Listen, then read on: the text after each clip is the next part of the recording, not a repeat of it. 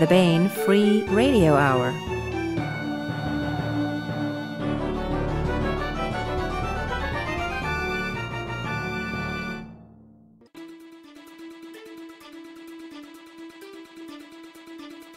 On the podcast, the chosen one seeks the grail, and the deleted one gets the hammer. A Bujold stock tip you can run with, plus we continue with our complete audiobook serialization of John Ringo's Under a Graveyard Sky. All right now. Welcome to the Baen Free Radio Hour podcast. It's an honor to have you along. I'm Baen editor Tony Daniel. We have part two of a two part interview with David Weber and five members of the Bu9 Honorverse Consulting Group. These include Tom Pope, Chris Weuve, Mark Gutis, Stephen Rider, and Arian Kaufmann. All of them were in our studio here at Baen, and we had a great time doing this one with them. It's a lot of fun, and you can listen to part one in last week's podcast. It seems every time we have David on the podcast, it turns into a two part show. Strange. We also continue with our complete audiobook serialization of John Ringo's Under a Graveyard Sky. Now the news.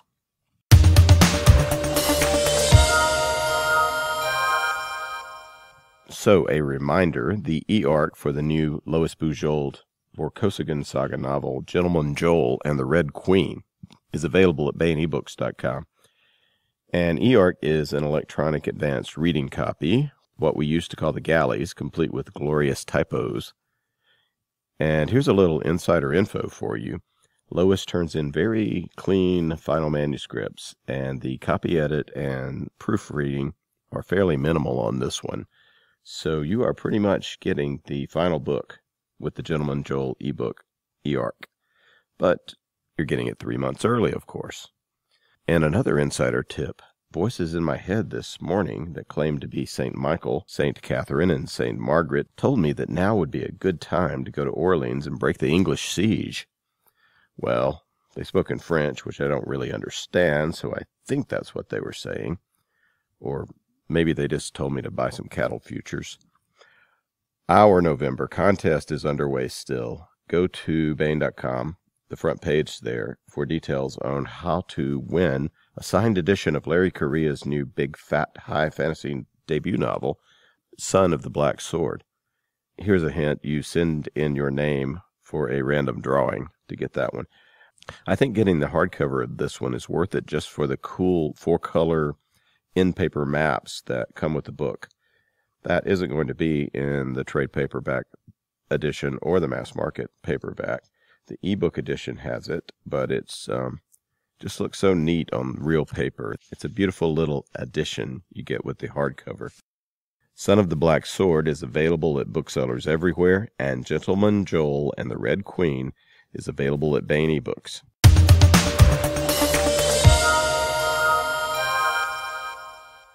This is part two of a two part roundtable interview with David Weber and several top members of Bu9, the Honorverse Consulting Group, talking about all things honor and beyond. Part one of the interview can be found in last week's podcast.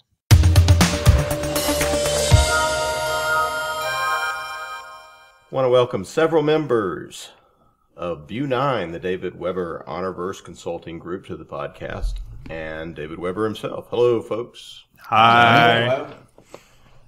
David Weber is the creator of the internationally best-selling Honor Harrington series and the Honorverse within which that series is set. David's Honor Harrington science fiction novels have sold millions of copies over the years. David is also the author of many other novels, uh, many other Baen books, including the epic fantasy Bahzell series, um, which is also Winright. What are we calling this anyway? Um, well, I'm I'm calling them the Bahzell cycle and the Kenhodan cycle. all right. The latest is The Sword of the South, which is the first in the Kenhodan cycle of, of fantasies. David has had, um, what was 28 New York Times bestsellers now, all told, and there are over seven and a half million David Weber books in print, which may be eight at the moment. Corinda sent me some new numbers. Uh, we have Thomas Pope, who is the founder of Bu9, a collection of professionals assisting David Weber in defining and documenting the Honorverse. In his first professional job for Baen, he served as the lead editor for House of Steel, the Honorverse Companion, which is a very cool book. Before founding Bu9, he served as the co-designer of Ad Astra Games' Saganami Island Tactical Simulator, and as the co-author of both issues of Jane's Intelligence Review. Tom is also the co-author of new Manticore Ascendant series entry, A Call to Arms, along with David Weber and Timothy Zahn. Mark Gutis is a practicing attorney. Mark indexes and writes about the legal systems and governments of Honorverse within Bu9. Chris Weuve is a naval analyst working for the Department of Defense. He spent six years at the Center for Naval Analyses as a naval exercise analyst and wargame designer, and five years on the faculty of the Naval War College as a wargame designer and analyst. In addition to wargaming, his specialties include command and control and anti-submarine warfare. In the Honorverse, he's interested in command and control and naval tactical and operational doctrine. And Tom, can you tell us who the rest of our, our Bu 9 folks Well, certainly. We have two two other members. We have Arian Kaufmann, who's been a member for quite a while, but he hasn't appeared on any of the podcasts before. Arian has been a, uh, he, was it human terrain? Was that the, the term you used? Uh, he has uh, helped out with a lot of the government and the social structures of the Honorverse um, throughout uh, quite a bit of Bu9's history.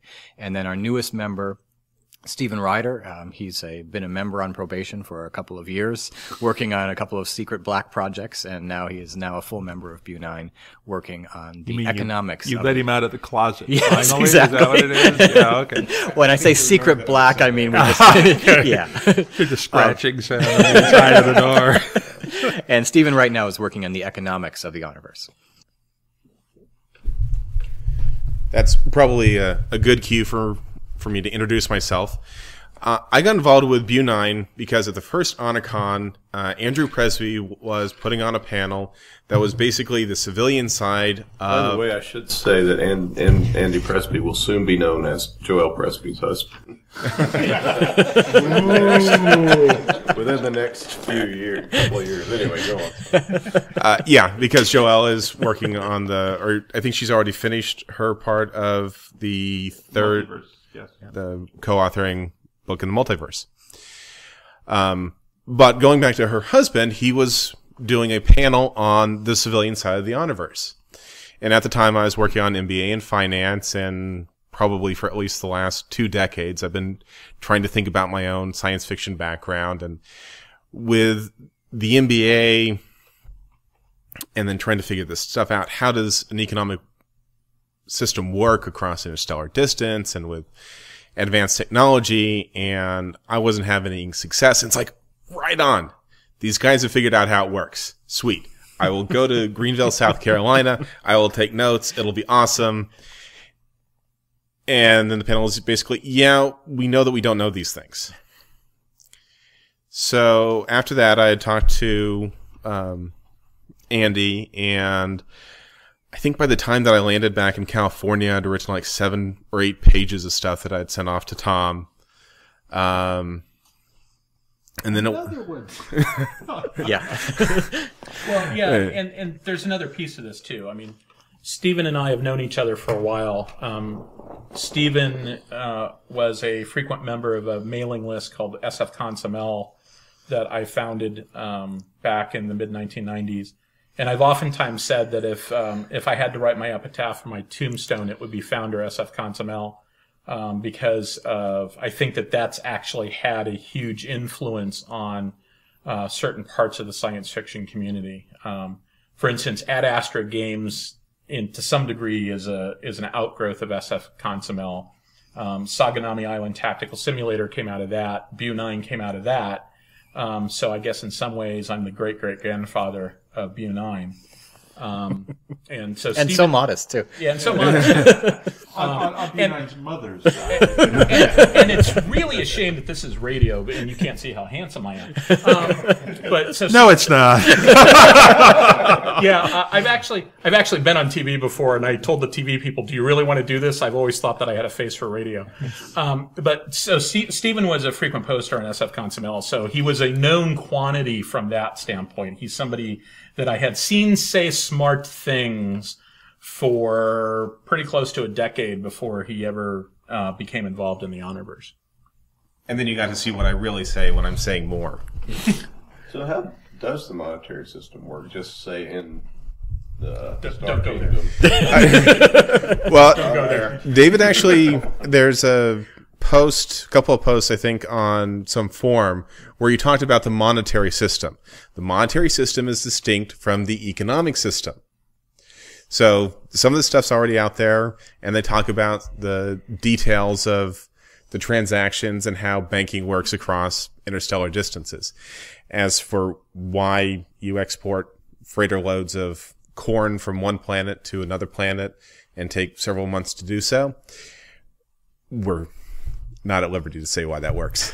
This is one of the examples of places where we're really being very careful to make sure not to not to break anything because it's a huge complicated system and it's something where we have 20 20 books 20 years of books that we have to match and it's a system that you know if we take any of the models that that Stephen has shown us um, and and extrapolate them directly forward it doesn't build that kind of system and so it's something that it has, you know, there has to be a monetary system. There people play poker for five dollar ante, so there's got to be money, and we know there's money, and we know there's money in that amount. There's people who are making life choices based on income, so we know that it's not, you know, they're not post, they're not, it's not a, you know, it's not a post monetary society, and we know there's nanites, but we know that they're not. There's not gray goo. There's not like planets that just, you know, splorch out starships every few months you know, magically from you know from their soup.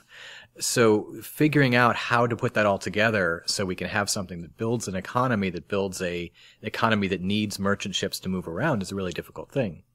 And we're spending a lot of time doing that. And one of the reasons why Stephen was sort of hazed for two years is his probationary period is we gave him a rock drill saying, bring us an economy. And he did. And we said, no, not that economy. Bring us another economy. and, and it also didn't help that the people that were that were reading the output of this, we were all really, really seriously busy at the time. Um, we all had day jobs that sort of spiked all at the same time, and so there were times where we just weren't able to give it the um, the due diligence that we try to give everything that we do. I mean, I don't think there's a member of there, there's there's sort of there's a core group of Bu9 folks that are the people that are always available to sort of work on projects. There's some other people that sort of come in and work on things here and there, but they're of that core group of people. I don't think there's anybody involved that doesn't look upon it as their part-time job. Um, I mean, we take it. Mark is raising his hand. Um, Mark is retired. Mark is retired. That's your full time job. so we we look upon it as something that I mean we take it very seriously. Um, and now usually the way it works So for what a do job. you, um, it, Go ahead. psychologically, you wake up in the morning, you go, you, uh, do you go and check your email, see what the guys or and girls have come up with, um, and we say u- you're going to work on it 38 minutes an hour and we used to part of your day? Um, part of the problem we've run into is that we've we've gotten knocked off that schedule just because of the way the day jobs are working these days. Um, so what we do is we always try to carve off time. We have a we have a monthly Skype meeting of the what I refer to as the XCOM, the executive committee, which is all the officers and the board members, and that's where sort of the big picture project management sort of stuff happens. Tom and I have a weekly meeting where we talk about the companion and where we are and how things are getting done. Like uh, I drove Tom down. Tom was reading a submission from one of our other members about the um, it was the Republic of Haven Marines, if I remember Marines, yes. correctly. So he was reading through the the the um, um, the submission. It was about seven or nine, seven, eight, nine pages of text, something, Something like, like that, that. And so we were talking about the parts where we thought it it was right on the money. Uh, you know, by, we were looking at this, going, "Wow, this is really good work," and it's from one of our newer members. We uh, so this is the first time we've really seen him put together like nine pages at a time, and we're looking at this, going, "This is really good." And there's this part here we, we we we need to talk to him a little bit about this. We're not quite sure that he's got this right, but you know maybe he does. So maybe you know we need to ask him about that so that he can have a chance to convince us that that's the right answer there.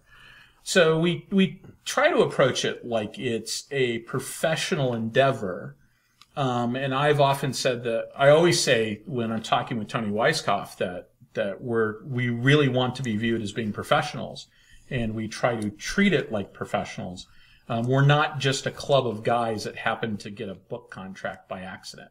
Um, we view this as we have Not very many responsibilities. clubs get them. no, not very many do. Because a people don't want them. So we, we try to take it very seriously and and um, we try to take it very methodically. By Um, and we have reasonably high standards for ourselves.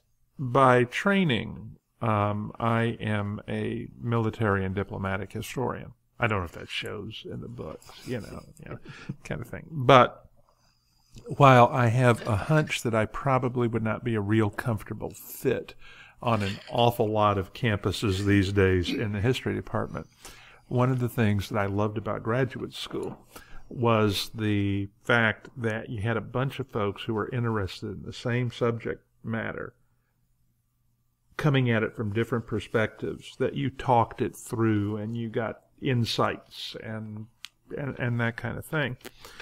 And Bu Nine does that in in a way. There's I I, I use saying that it's a collegial atmosphere might perhaps give the wrong impression because that has this implication of sort of a magisterial kind of thing.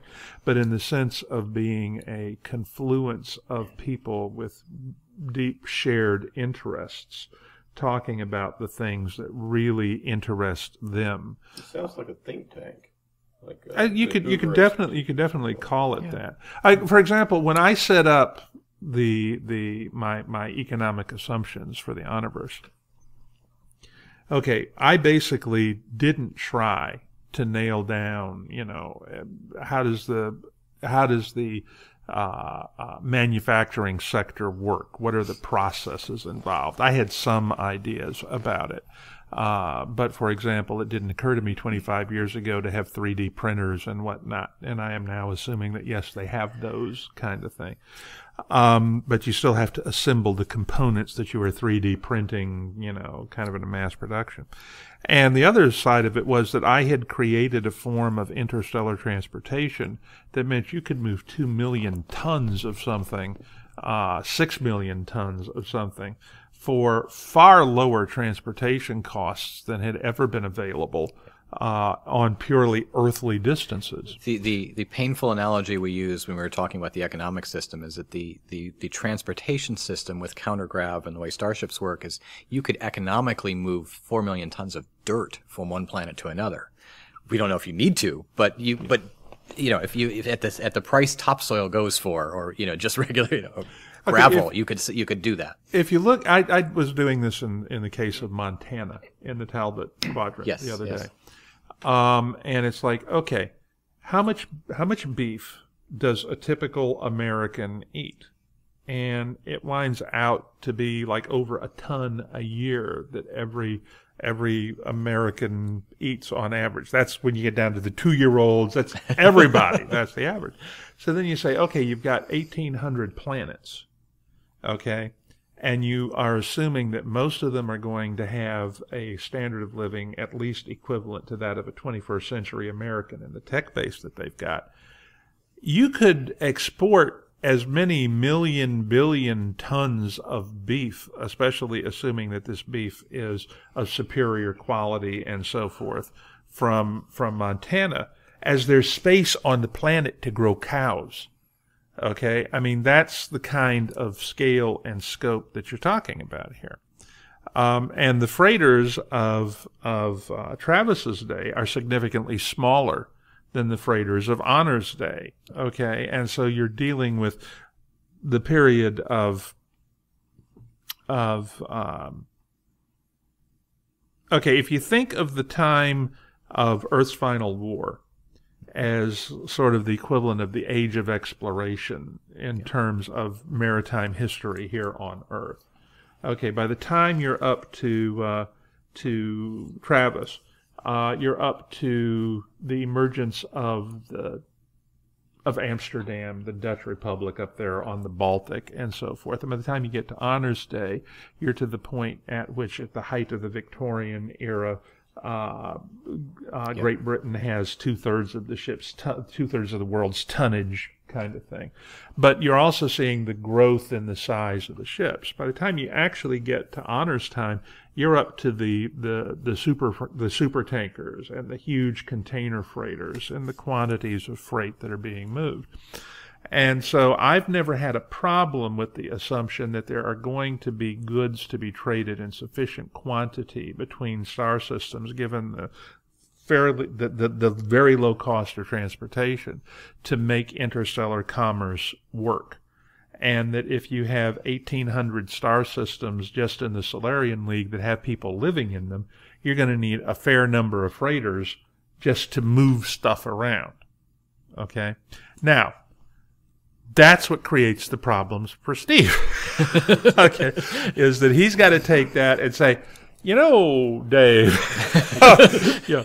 But I mean that that those were the basic assumptions that mm. went into and and you see one of the problems that I had was if I wanted to create these these interstellar political units, there had to be some force to bind them together into interstellar political If all bonds. the planets were self-sufficient, you wouldn't need a lot of the things. Exactly. And so the Solarian League grows out of an effort to regularize the the interstellar trade relationships that were already growing up.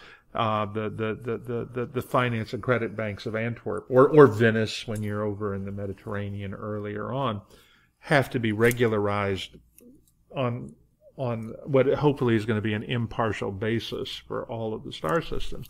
And that's one reason the Solarian League government has all the problems that it has. It was never really envisioned as a government. It was visualized, visualized more as a trade association. And therefore, the mechanisms and the internal mechanisms involved in making it politically accountable are were extraordinarily underdeveloped or non-existent. Um, but see, that's kind of because I'm looking at it from the historian's perspective. Uh, to my mind, it makes no sense to structure a society that is, it exists at this moment, floating in eternity, severed from what became, what came before or what's coming after. If you look at my series, all of them have this progression of the institutions, the technology, the whole nine yards, and it's the growth and the changes in those basic building blocks of the societies and the structures that I like to play with. Because the character growth comes out of dealing with those changing realities for me in a, in a lot of ways. And so that's why when I, when I sat down, when I, when I, when I sat down to do the Honorverse, Jim Baen had said to me, Your books are all spawning sequels. Here's a thought. What about writing a serial deliberately from the beginning? and I pitched 10 ideas to him. Uh, one of them became the Honorverse. One of them was the Multiverse. Uh, one of them was the Bahzell novels. Uh, one of them was the Safehold books being published by Tor. You know, all of these were ideas that I pitched to Jim Baen 25 years ago. And I didn't know that he'd been looking for someone to do Horatio Hor- Hornblower in space for 20 years. And so he saw, you know, Honor Harrington as a six foot two inch Eurasian star shaped captain. He said, Ooh, ooh, ooh, write him a contract. Hell, write him two contracts. What? Make it four! You know, and at that point David, did you just say that you haven't had a new idea in 25 years? No, I did not say that. I did not say that. Just, just making sure. Just Um, making sure. but the the um the the to me okay but when i before i did this i sat down and wrote my original tech bible which is about 80000 words okay? Because i needed to build the universe before i started writing the stories.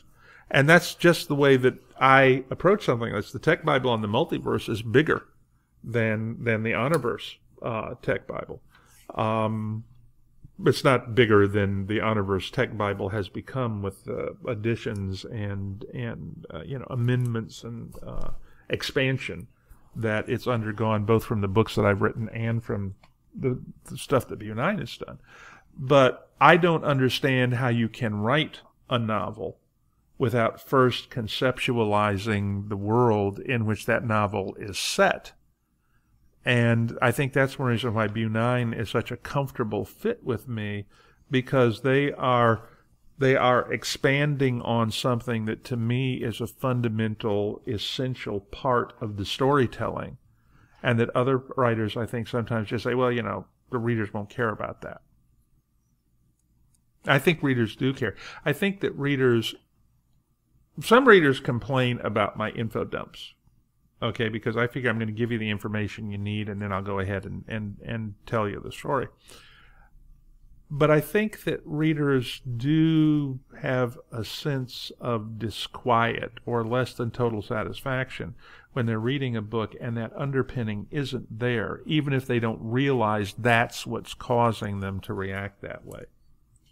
I, d- I do know readers that, that have told me that they just skip by the info dump. And to, to which my response is, that's great because I'm there for the info dump. Um, I, I, I don't skip any of it. And um, that actually seems to me to be a really good um, way that we can both be happy. If you cut the info dumps out, I'm always looking for that background information. I always want to know how that stuff works. And The, if- the thing that that after you really start reading David Weber books is that the info dumps have things you really need to know. He doesn't just dump stuff in; they're not weird digressions off into nowhere. No, I, I try not there- to anyway. yeah.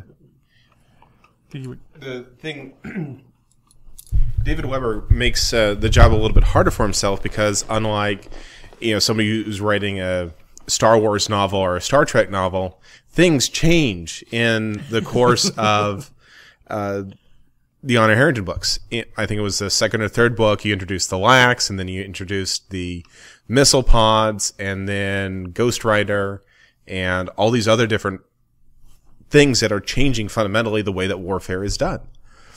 And that makes it so something that was absolutely true in the first book now doesn't make any sense. And when, when you look at the pro- progression of one starship versus one starship in Basil Station and, and uh, Honor of the Queen, moving up to fleets and fleets with with hundreds of thousands of missiles in space at the same time, it's just that the, the scope just has expanded so so radically uh, that you, you didn't notice Topsy growing, but Topsy growed a whole lot.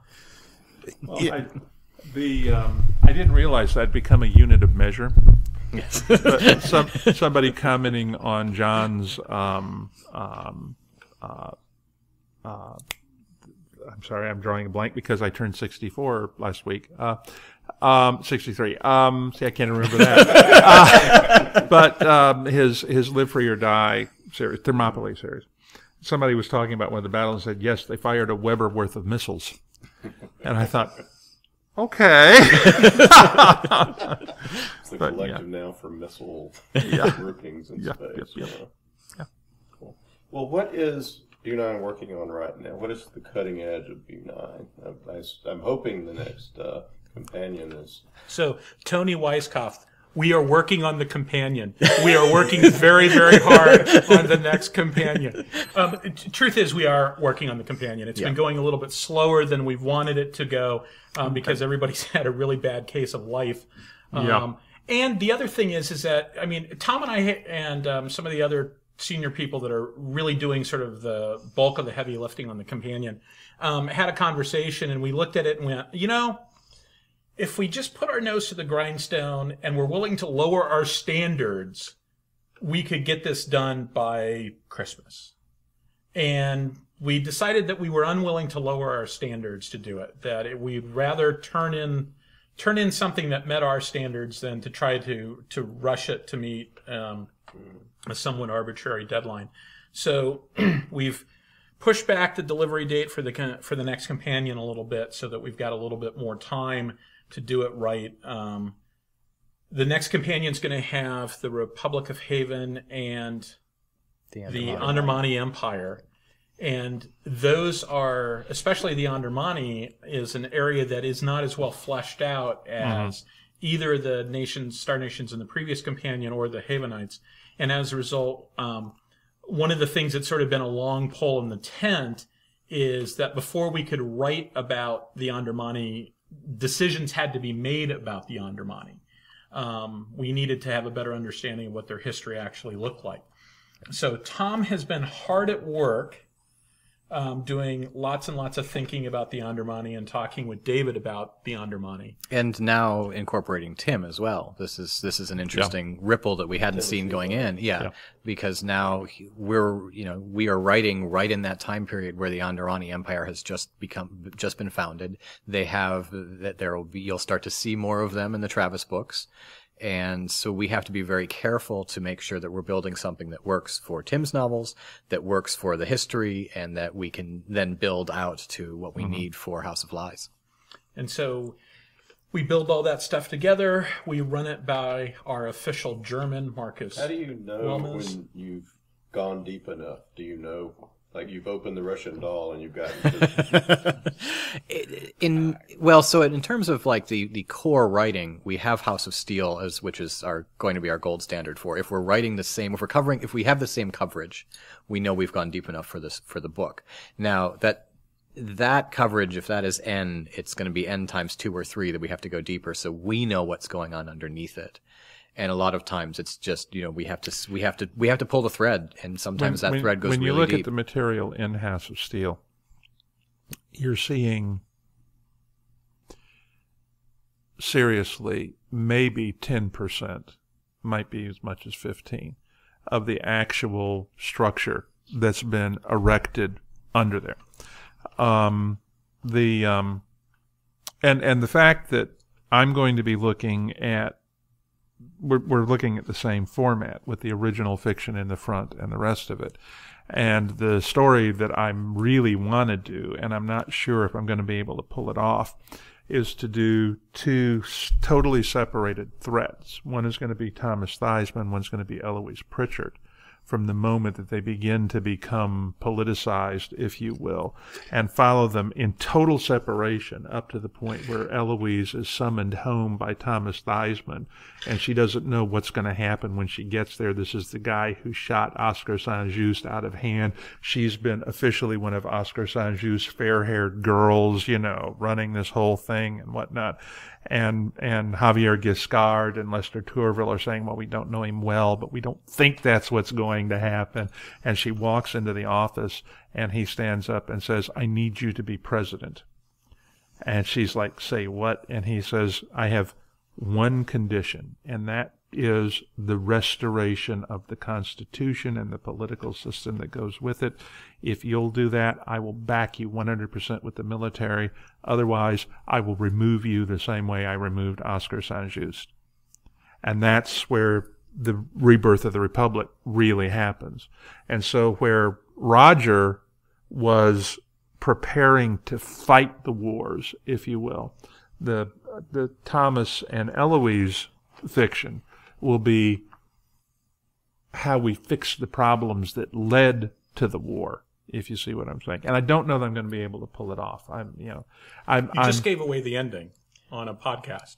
He'll edit it out. He'll get to that part and he'll say, and she walks into the office and, and then he will say, and that was edited out because Chris pointed out, you know. Well, I think in this case it works because I mean I, I think we're pretty sure that Oh yeah, he doesn't have her shot. Yeah, you know. there were- there this is actually this scene is sort of reminiscent of how the the story in the first uh, companion came about. That story came about when we were having a conversation around David's dining room table um, uh, about uh, what the story and the companion can look like. And at the time, there was another piece that never actually made it into that companion, although we think that a version of it is going to be the anchor uh, article, like the building the Navy and the Honorverse article was the anchor article in the first one. This was going to be the the three levels of war is our plan for the ankle anchor article in the second one. And there was this The ankle plan, archer? The end. Yeah, um, I'm the one with the braces, okay, you know. and there was this there was this plan to sort of tie in this article that was supposed to be written by Roger Winton with the Roger Winton story. And David at that point goes, yes, and the story can be, and he told us the outline of the story, including the ending, right off the top of his head, and we all went, wow, that's that was a really cool moment. Um, I think I actually wrote the letters to the to the proceedings. You wrote them that night. Well, you Yes, you- yeah, we, yeah. yeah, we I saw them the next Sunday morning. Yeah, so- that's right.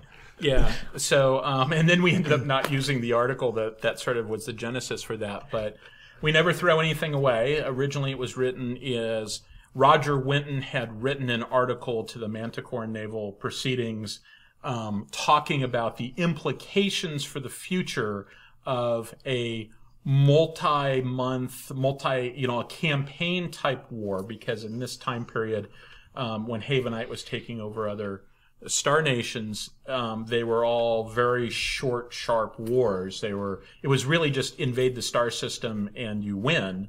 Um, and then there was mopping up. There wasn't anything that looked like a campaign. They were all the Austro-Prussian War, not the not the Franco-Prussian War. or or not World War II in the Pacific, right, where you had island hopping campaigns and you had to sequence events, et cetera, et cetera. So now I'm a graduate of the Naval War College. Um, the my co-author on this, the primary author on this, is uh, uh, one of our members named Pat Doyle. He's also a Naval War College graduate. This is what we teach in Newport. I was on the faculty there too, um, and this is uh, this is the sort of thing that we do. And so Pat and I both decided that it made sense to actually, we're actually putting our Naval War College degrees to good use by writing about how the operational level of war comes about in the honorverse. And so that's our, our plan is to, to turn that into the anchor essay in this next companion. That, that's also one of the great joys of working with BU9 in that I, I, would always have loved to be a writer, but I, I just don't have that, that creative ability to, to come up with plots and, and, and flesh them out. But what I can do is I can take something in the Honorverse and write a law review article about it. Because I know how a law review article is structured and I know the background that went into it and it, it, it, it enables me to be creative within the context of both the universe and my area of expertise. Um, Mark and I were both down in Orlando for a wedding. Was it last month? or the month September. September. Okay, so it's still technically last month. um, and we had uh, we had breakfast before they got on the road where they were going, and we got on the road back home.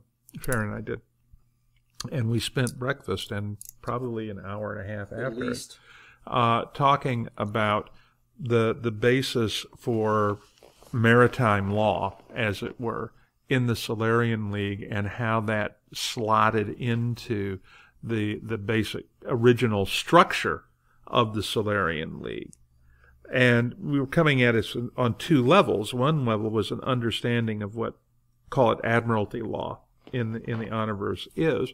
The other one was, especially for me, was how do the basic assumptions of the system that Mark and I were talking about, how does that slide into the original organization of the Solarian League as this, uh, in essence, an agency designed to oversee uh, interstellar commerce?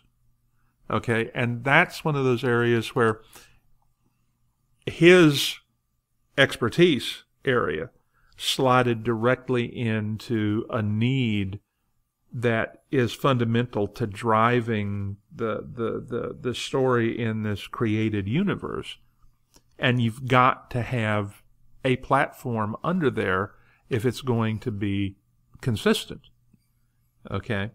Um, and that's one of those areas where when when we did the article for the the first companion uh, on on structuring a navy, okay, I actually had in my mind, in my my underlying assumptions that I was writing from and so forth, almost everything that needed to go into that article, but I had never actually articulated it anywhere. I'd never actually written it down, even for myself. So when Chris started asking the questions involved in putting that article together, it had this huge focusing effect on things. And it was kind of like when you've created a character and you really know that character well, you don't have to think about, well, how is that character going to react in this scene? You, you just say, okay, this is how that character reacted. It was kind of the same thing for me when Chris was asking his questions because I'd kicked the Royal Manticoran Navy around enough in my mind. I had enough underlying assumptions about why they did what they did that when he asked me a question that directed my attention to that particular aspect to it, it was kind of like, oh, well, of course, this is the way that it works. But I never would have gotten to that point probably of, of, of specifically articulating it to myself or anyone else if Chris hadn't asked me the questions in the first place. One of the things that we're, I think we're pretty good at is we're good at providing a professional framework that they, David can then hang ideas on. Um, because we all either have a tremendous amount of study or we have day jobs or in a lot of cases professional study degrees in the sorts of things that we have conversations with David about. And so, I mean, I, I'm a naval analyst. I went in there I, uh, with, uh, with a model on how exactly all the different pieces you need for a Navy, um, because I I, that's what that's what the day job was. Um, and so David was able to hang his ideas off of the real, real world things. When when uh, Andy Presby and David and I have a conversation about what exactly happens in the combat information center of a ship in the Honorverse. Um, you know, Andy and I have both spent a lot of time in combat information centers. We know how they work, um, and we know how the Honorverse works, and we can and like at the the last HonorCon, um, David wasn't there for it. He had gone home and gone to sleep. But Andy and I ended up staying up until four o'clock in the morning, having a very in-depth conversation about exactly how the C- a CIC in the real world differs from a CIC in the Honorverse. And it was really sort of funny because uh, Tom and some of the other members of Bu9 the next day were saying, "Wow, you and Andy were really going at it. You were really arguing." And Andy and I are going, that was an argument? That wasn't an argument. That was a passionate discussion among professionals. well, I think I think that also you get to the point where um, the distinction between argument and quarrel becomes important because these guys can have arguments in the sense of we are laying out our reasoning and this is where it comes from and they're for the most part completely satisfied that the end of the day is going to be a synthesis of more than one viewpoint, more than one position on how this works. And they both know that the other one really cares about the quality of it. I think they know that, and they also know the caliber of the person with whom they are having the discussion. I have never seen in any of the Bu 9 discussions anybody kind of rolling their eyes and going, well, yeah, that's just so and so. You know, I mean, there have been moments when we've kind of all gone, you know, uh, over over something or or or something. but but the but the the the mutual respect is there, and I think that it helps carry a lot of the interaction that they do very effectively. Can we end it there then? Let me uh, Yeah. do that. We've probably run way over your Yeah, time. This will be great. well, let us uh, let's call it a day here. We've been talking with David Weber and members of Bu Nine, the Honorverse Consulting Group Extraordinaire. Bu Nine Associates, uh, thank you so much for being with us again. It was wonderful to have you here. Tony, Thank you, if I can add one last thing. We're in town because we're going to Honor Con, which is the uh, con put on by the Royal Manticoran Navy. This is a con that Bu9 actually started a couple of years ago, and we managed to, to convince somebody else. I mean, offered it to somebody else so that they can now run it. Um, thank God it's not us anymore because running a con is really hard work. Um, they do this every week, uh, every year. Wow. They do it every year um, at the end of October. They also have another con in Minneapolis called MantiCon that they do Memorial Day weekend. Um, that's what brings us to town, and and it's a it's for Honor Harrington fans. It's a great opportunity for them for people to go and hang out with a lot of other Honor Harrington. And by the time you hear this, that will have been last weekend. yeah, unfortunately, But make plans weekend, for next year now. Do we have any 2016? Uh, is it going to be in Raleigh again? Or? Um, as far as I know, it's I, going to be I in think Raleigh again. I think Martin so. said that he has like a three-year, four-year uh, contractual relationship with the with the hotel. These are I wonderful what events, and I highly recommend them. I, I the the last one, uh, the one before last, I met somebody I had babysitted in high school, who's now in charge of the uh, missile defense of Washington D.C. You know, and I had him write an article for the website because I Well, I have to say, some years ago, I was at Dragon Con I was guest writing and I'm autographing books. And this this college rising senior comes up to me and I'm signing his book and he says, "Oh, Mr. Weber, you're my favorite science fiction writer in all the world." Well, this is good, you know. And then he says, "You're my mother's favorite science fiction writer in all the world." And I said, "That's pretty good too." And then he said the fatal words, She used to read me to sleep with your stories. and I felt that knife go right up under the third rib and twist. okay. But it, it occurred to me a while back. Okay. Um, I sold the first novel in 89. So I'm coming up all right on 30 years of, of doing this. And this is a little bit of a spoiler, but if we plan things properly, I will be tying up the Honor Harrington storyline and and the, as I originally envisioned it, except without her dying, probably, um, in April of 2018. And if I pull that off, that means that the final volume in that cycle that started with Basilisk Station will come out exactly 25 years after the first one, which would be kind of cool. Um, but uh, on the other hand, I'm about two months behind on my writing schedule right now, so there could be a teeny tad of slippage in there. You know, never can tell. And there'll probably be another multiverse book in there somewhere too, and that's you know. So go for 30 years since the first book then? No, no, no, no, no, no. If I go for 30 years since the first book, I may not be here for, you know, I want to find out what happens to Kenhodan also. so. yeah, well, okay. I, I can tell you, but we'll have to go off them, yeah. So, Tony, do you want to try to end it again? Yeah. All right. We have been talking with David Weber and members of Bu9, the Honorverse Consulting Group Extraordinaire. Uh, thank you all very much for being with us. Thank you for having Thank us. you for having us.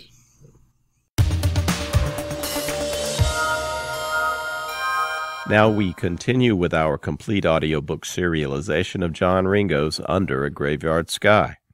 This portion of Under a Graveyard Sky is provided by Audible.com. Get the complete audiobook at Audible.com now.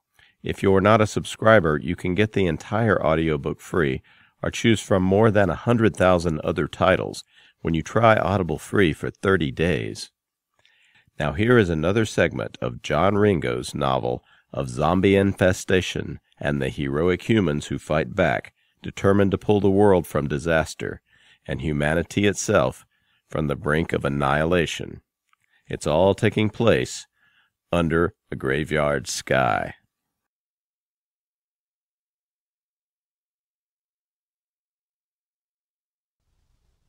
When Dad went, I was down in my cabin, Tina said, sipping tomato soup. She'd had a shower and her hair was combed. All three of the Smith women were larger than her, so the sweat she'd borrowed from Sophia made her look even tinier. I heard Mom screaming. Captain Charlie blocked the door and put some food and water in my cabin. Then he made all the locks and told me to lock myself in the cabin. He'd. He told Dad that was what he should do in the first place. All of us in different cabins, with a way to make it hard to get in or out. Then he. He went. How long ago? Stacy asked. She'd geared up and gone over to check out the fair line after Sophia had taken charge of the survivor. After a bit, and some toting of materials from the hunter, she'd managed to get the engines running. The boat still had nearly two thirds of its fuel, and the water tanks were full up. The reason that Tina had run out of water was the battery supplying the pumps had finally gone dead. I don't know, Tina said. There was a big storm. We got hit by it too, Sophia said. That was about a month ago. Then, about a month and a half, Tina said. I ran out of food after the storm sometime, and as long as the water lasted, I'd drink a bottle of water, then fill it. Then the water shut off, and I couldn't flush or anything, and. She curled up into a ball. I can't promise that nothing bad is ever going to happen again, Steve said, and I can't bring your parents back. But I promise I'll do my best. Okay? Okay, Tina said. She leaned into Sophia and tucked in her head. Hey, Faith said, standing up. Somebody should probably be on deck making sure we keep the boat in sight. I volunteer for watch. Go for it, Steve said. I'll be up in a bit. Don't mind her, Sophia said. She's good at fighting zombies. Not so big on the whole helping others thing. I guess you need people who are good at fighting zombies, Tina said. Can I ask, what did you do with my mom and dad? We gave them a decent burial at sea, Tina, Steve said. The best we could under the circumstances. Thank you, Tina said. There's something we need to talk about, Steve said. Now? Stacy asked. If not now, when? Steve said. It's about your parents' boat. This one is about done. The law of the sea, such as it is right now, is that if a boat is unoccupied, it's salvage. But you were on your boat, so it's yours by right. Not to mention, it's got your name on it. But you need to use it, Tina said. If you can take me back to Virginia. Virginia's not there, Tina, Sophia said. I mean, the land's there, but it's all zombies. All? Tina said. I mean, all? We've been inshore a few times, Steve said. Everywhere we've been, there are zombies on land. No lights at night. No sign of civilization. Everything? Tina said, looking at Sophia for confirmation. New York? We sailed out of New York Harbor when they blew the bridges, Sophia said. We actually attended the last concert in New York. And there hangs a tale, Steve said. But the point is, we need your boat. You can have it, Tina said. I never want to see it again. And that won't work either, honey, Stacy said. After we get it cleaned up, we're all going to have to go back on board. Oh, Tina said. I'm not sure. I really don't want to go back. Cross that bridge when we come to it, Steve said. But we have your permission to use it? Yes, Tina said. I mean, I'll give it to you, just for getting me out of there. Probably ought to get that in writing, Steve said, but I'm not really worried about it. Is Washington still? Tina asked. Let me see if I can put this in perspective, Sophia said, getting up. She turned on the shortwave receiver and consulted a chart. Hear that static? That's the primary U.S. federal emergency channel, the one that FEMA used to broadcast on. This, she said, changing the channel, that's the BBC. This is ABC, CNN, Fox Radio. Oh my God, Tina said, her eyes wide. She started crying again. You survived, Tina, Steve said, taking her chin and making her look at him. You survived. And as a parent, I can tell you that it was more important to your parents that you survive than that they survive. You were important to them. So your job, from here on out, is to not only survive, but to do the best you can at it. Understand? Yes, sir, Tina said. As I said, Steve said, standing up, it's not going to be easy. But we are not only going to survive, we are going to win. That's the first time I've heard you use the word win, Stacy said. She'd brought him a cup of coffee. That was one thing they'd taken off the yacht first off. They'd been out for two weeks. Penny for your thoughts? I'm not sure I have any, Steve said, looking at the other boat. But so far, all we've been doing is running and hiding. That was the right thing to do. Now, I'm not so sure. My basic plan was to find an abandoned island somewhere and set up shop. Maybe there's a house somewhere with a harbor or something. Seeing Tina. Honey, he said, taking the coffee and setting it down. He turned to her and shrugged. There are people out there, just like Tina, hiding in compartments, starving dying of dehydration. On life rafts. We've been avoiding them for fear of someone going zombie, but by now, most of them will have gone through the cycles. If they haven't, we've still got some of Tom's vaccine. We can save people. Are you sure that's a good idea? Stacy said. I mean, Stephen, there's only four of us. We are not exactly the Coast Guard. Just tying up to Tina's boat was tough. Compared to, say, going to a concert in New York in a zombie apocalypse at night? Steve asked. You're never going to let that go, are you? Stacy said, with a breathless laugh. Zombies don't think, Steve said, but whoever created that virus does, and I bet they had a plan to survive. I bet they're out there. And that person thinks humanity is beaten. There's no indication that anyone is doing anything. Everything is gone. There's no government, no army, no navy, no coast guard, no homeland security. No homeland, for that matter. It's all gone. The bastard won. Well, I'm not going to be beaten. I'm not going to have my children and my grandchildren grow up hiding from the zombies. I'm not going to let that happen. I will not bow to the zombies. Do you have a plan? Stacy said. I have an inkling, Steve said. I have a goal. I have the goal of a zombie free world. I don't know if I'll see it in my lifetime, but I'll start with the US, and that's going to have to be good enough. Big plan, Stacy said, shaking her head. Steve, I love you for your paladin side, but saving the world is usually a metaphor. If not us, who? Steve asked. Tom, if he's out there still, is locked into a fortress and can't get out. Ditto any remaining government groups. There probably are government secure points that held out, but they're trapped by the zombies. We have mobility. And there are other boats, ships, survivors out there. We'll rescue them and organize. You think they'll go for it? Stacy asked.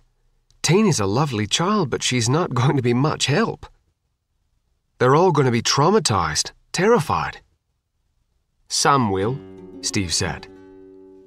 Those that don't, he shrugged. Cross that bridge when we come to it. We'll cross every bridge when we come to it. We're going to win, and I'm not going to let the bloody damn zombies stop us. I will not bow.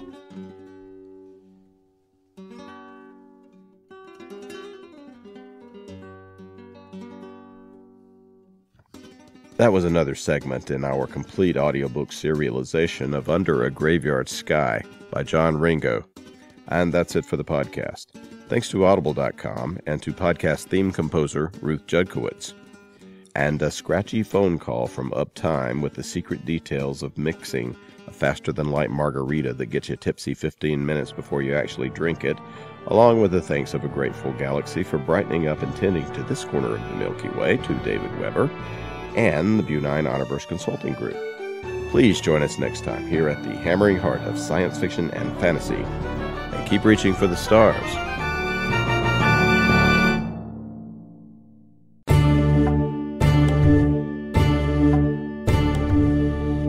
The Baen Free Radio Hour is brought to you by Baen Books Audio Drama, presenting dramatized audio plays of the best science fiction and fantasy with a professional cast and cinema quality soundtracks.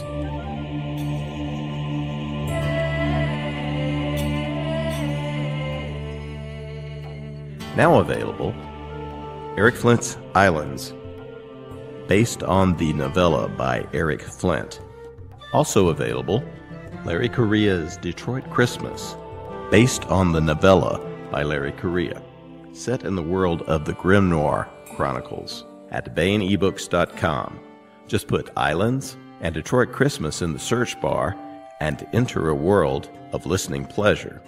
Baen Books Audio Drama.